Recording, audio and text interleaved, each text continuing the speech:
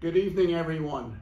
My name is Jeff Roberts, and I have the pleasure of, of telling you all about the various uh, organizations that the co-op is supporting this year through its uh, Cooperative Community Fund. Uh, we always get a number of, of uh, applications, and it's always a challenge as to how we allocate the money. That money, by the way, is in part what the co-op does in its in the community.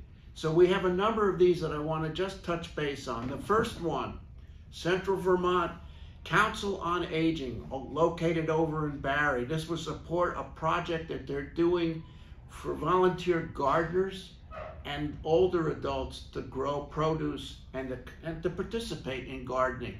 The funds will cover part of the soil prep, seeds, and other tools uh, in partnership with a local farm. The second one is the Circle organization, also located in Barre. And this is, again, a food-related one uh, to, to, help them purchase uh, canning supplies and so forth for the communal kitchen. Um, they are a domestic violence support organization uh, who want to provide uh, safe cooking for their shelter uh, space and also to support their various residents. They're going to be using this to purchase additional, additional equipment for the kitchen, uh, food processor, Tupperware, and so forth. Number three, down in Northfield, is the Glynis Hill Farm. They're doing a, a solidarity CSA program which offers no cost produce to uh, shares to low income neighbors. The funds will help as a starter and also provide $25 a week for 10 weeks to four families over the winter. A really important uh, benefit which Glynis does in order to help their community. Number three is here in Montpelier, Ishtar Collective. This is to help with paying for the flood damage this past summer uh, to their food storage access. They are a sex worker rights and anti-trafficking organization.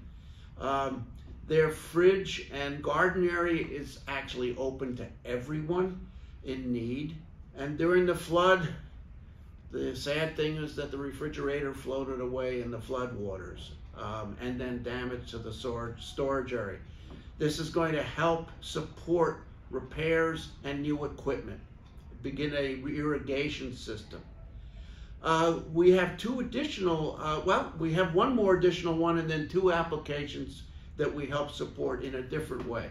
Uh, the Migrant Justice Center located over in Burlington, it's a statewide organization to partially fund, fund their request towards a new public address system and computers to further their work fighting for economic justice and human rights for farm, farm workers here in Vermont.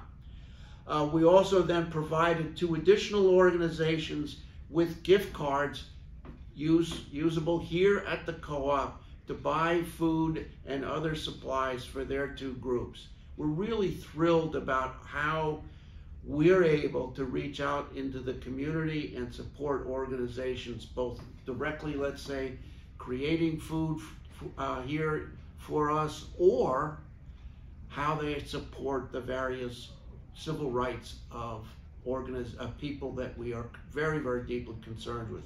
I thank you for your attention, and let's keep up the great work going forward. Good night.